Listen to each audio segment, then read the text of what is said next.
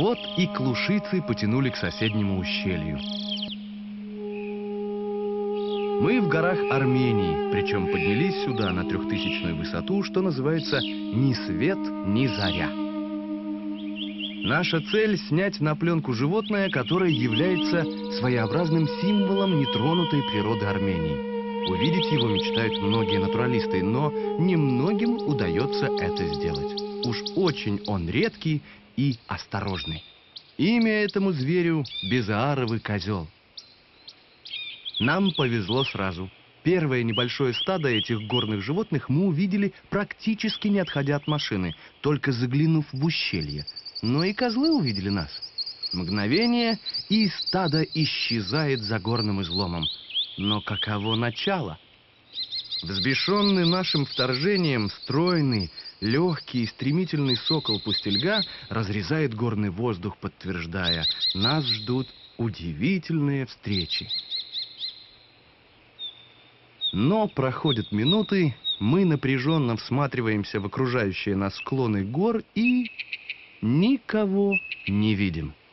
Неужели первая встреча была и последней?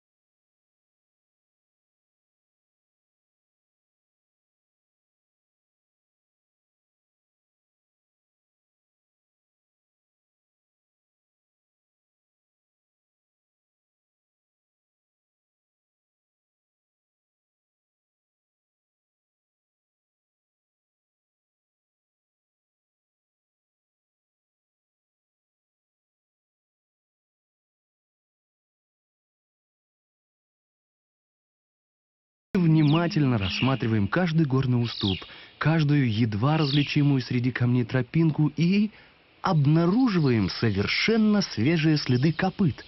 Стадо козлов было здесь совсем недавно, но нам от этого не легче. И снова мучительно долгие минуты ожидания. У безаровых козлов очень сложная система использования разных уровней гор – Выше всех держатся старые козлы, ниже – самки с козлятами. Но это все теория. Как необычно среди гор выглядит наша самая обычная пустельга. Этот небольшой сокол питается главным образом мышевидными грызунами и насекомыми. И здесь он не случайно. Все склоны усеяны норками, а это значит, что старательному охотнику есть чем поживиться. А вот еще одна очень интересная птица – Пустельга только и смогла, что в удивлении зависнуть над ней в своем необычном трепещущем полете. Это горная куропатка или кеклик. Причем здесь она не одна, а со своими собратьями. Кеклики живут стайками, собственно, так же, как и наши самые обычные серые куропатки. Послушайте голос этой птицы. Понятно, откуда такое название? Кек-клик. Птица сама его выкрикивает. Название «каменная куропатка» тоже очень подходит к ней. Жизнь ее теснейшим образом связана с камнями. Кеклик прекрасно приспособлен к жизни на скалах. Он может подняться почти по отвесному обрыву, легко бежит вверх по крутому склону и еду разыскивает на бегу, причем для этого он бежит только вверх. Кормятся кеклики почти всегда на земле. Основным кормом им служат семена, плоды, листья, зеленые побеги, луковицы и клубни различных растений. Очень любят воду. Летом, в жару, регулярно посещают водопой два, а иногда и три раза в день. Для этого кеклики могут пробежать несколько километров. Что поделать, если эти горные куропатки так любят бегать? Но и они при неожиданной опасности взлетают и с шумом скрываются в горах. Птицы все-таки. Видите, как полетит? Кеклик кекликом, но мы ведь здесь для того, чтобы снять редчайших безааровых козлов. Мы движемся по едва заметным тропам, пугая серых куропаток, и они здесь тоже живут, рядом со своими горными сородичами.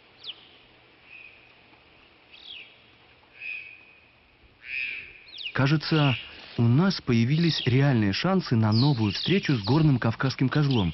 Один из наших проводников только что сообщил по телефону, что видит несколько зверей, но это в километре от нас. Успеем ли? Горные тропы не самые удобные пути для быстрого перемещения. А еще все-таки ощущается высота, как-никак 3000 метров над уровнем моря.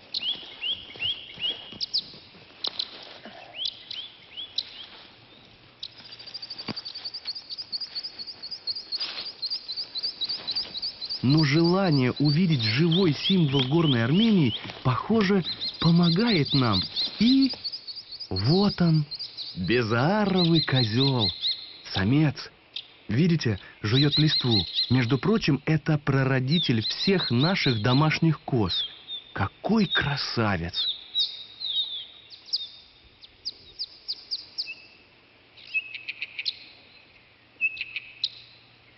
А вот по склону медленно идет одинокая самка. Странно, должны быть еще звери, ведь козлы стадные животные. Вот они. Самочка с молодым козленком лежат на камнях, греются. А наш козел перешел на слизывание соли с камней. Еще зверь отдыхает на скале. Да, вокруг нас спокойно расположилось стадо безааровых козлов. Фантастика. Кстати, о названии этого козла. Безаар – это своеобразный комок из слипшихся волос, попавших в желудок козла вместе с пищей. Этот побочный продукт пищеварения козлов раньше считался чуть ли не волшебным. Сколько за ним числилось разных лечебных свойств. Посмотрите, посмотрите, как лежит соль. А еще целебная кровь козла – Кольца сделаны из козлиных рогов, обеспечивающие человеку крепкое здоровье. Не мудрено, что в погоне за своим здоровьем люди не слишком следили за судьбой этих животных. Может быть, поэтому так редки сегодня горные козлы.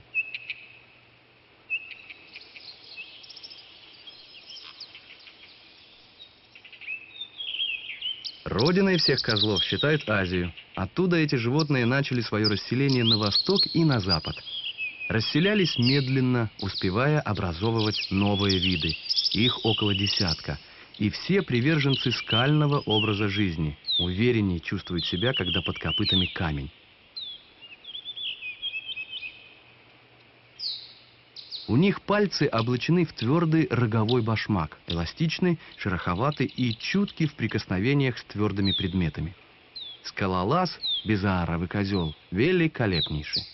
Просто дух захватывает, когда бегут эти звери по самым крутым и отвесным склонам. Но что-то потревожило стадо козлов.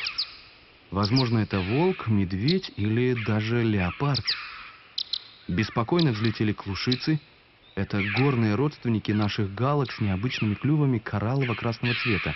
Населяют высокогорья, скалы, альпийские и субальпийские луга прекрасно и по многу летают, используя для парения восходящие потоки воздуха. Их звонкий голос – сигнал для всех обитателей местных гор. Внимание, опасность!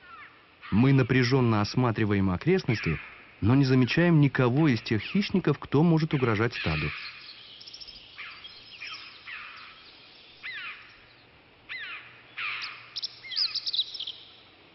И все же взволнованные безааровые козлы решают покинуть это ущелье. У животных, ведущих стадный образ жизни, сложилась богатая система общения, удивительно тонкая и выразительная. Ритуалы, с помощью которых стадные животные отмечают свои пастбища, защищают их, ухаживают друг за другом, соперничают, спасаются от опасности, все они очень древние и имеют одну главную цель – выжить. Стадо обеспечивает отдельным животным и активную защиту от хищников, и возможность нормального питания. А кроме всего этого, именно стадо облегчает и обогащает процесс обучения молодых животных, передавая им опыт всех животных. Вот почему, наверное, стадо не спешит убегать, не определив характер опасности.